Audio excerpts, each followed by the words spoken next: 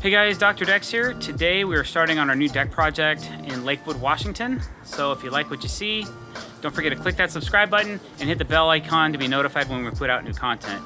Uh, thanks for watching. We really appreciate it. Don't forget to comment below and hit that like button as well. All right, so we're building a really low deck and we're building it right over concrete. We only have like three and a half inches of room for framing. So what we're doing is we're gonna frame it similar to this. This is something I did on my computer.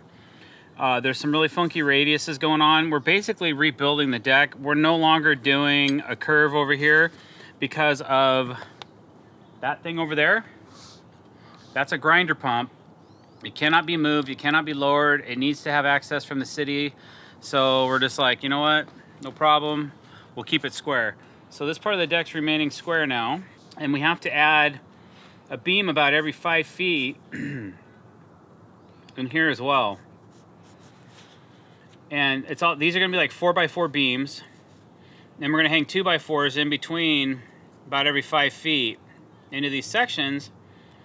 And then we're gonna be creating a curve. So we're gonna be doing some flat blocking in here, like this, to support our curved surface borders. So that takes some time. But we're gonna start by framing this section over here first. We have nine footings to put in. I'm using pier blocks today. We don't use them very often, but in this instance, the deck is so low to the ground that that's what we decided to use uh, instead of traditionally pouring concrete. So we're gonna get going on that. Let's see where we end up.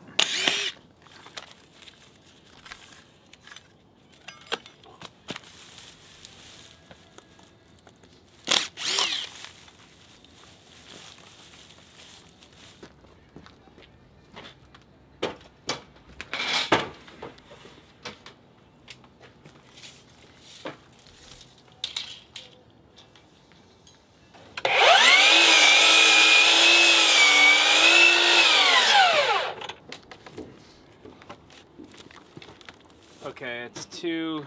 So this beam is gonna have to be. We'll have to cut it down again. Um,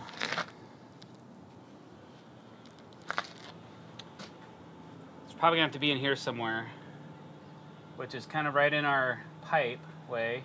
But what I'm trying to do is just figure out where the footing should go. The footings, you know? right here.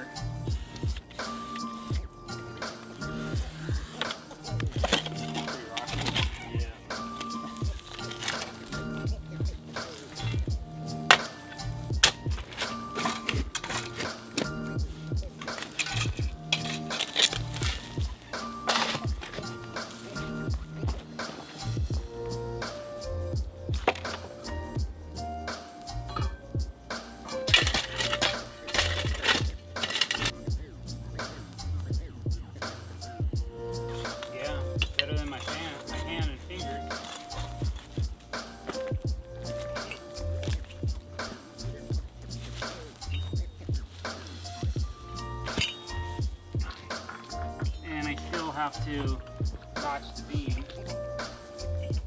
But it looks like, ooh. Well, I know, I bet you you have to come up. Uh, sliders. Lower than the Yeah. Right now, we're setting our beams in place for the deck. And I set my elevation to the corner of the house, thinking that was it. But then we just realized that the sliding door is a half inch lower than that. So we have to go back and lower a couple things um, because of that fact. So if we don't, and that's a good reason why it, sometimes it's better to set a ledger board in place before you get rolling. But I thought I was clear, so my bad. We're gonna clean this up right now, uh, and then we're gonna double check some things. And odds are we might have to pull this footing block and lower it a half an inch because I think I'm maxed out on height. As far as I might be able to lower it a little bit, but I don't know if I get a full half inch out of it.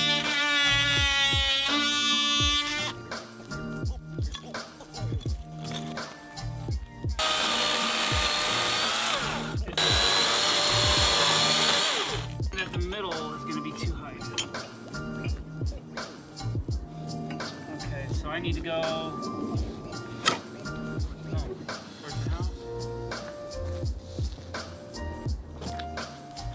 Okay, let's. Can we drag it towards the house a little?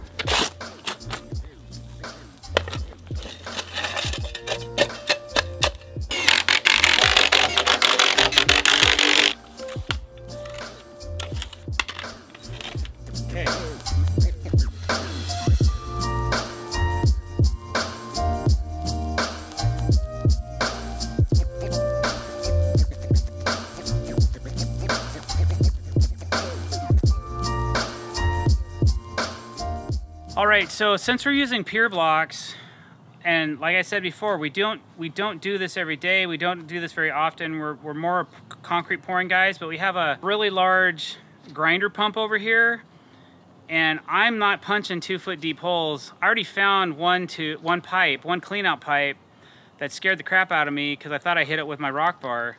So we're using pier blocks on this job. If you don't like pier blocks, I understand. You don't need to leave, leave a negative comment or anything like that. Um, you can comment below if you want. But what we do when we do use pier blocks, we tamp the hole really well. Once we got it to depth, we're gonna tamp this hole. I'm gonna make some dust, all right?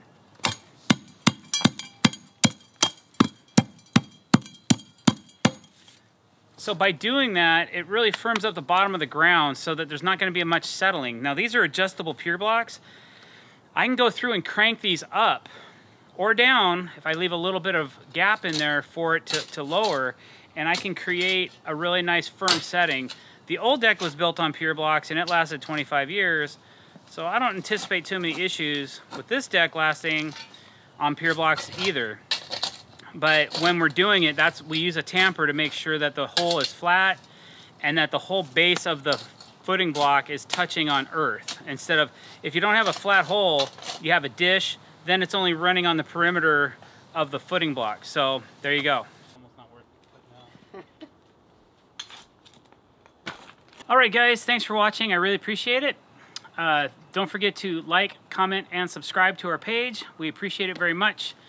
Have a great day.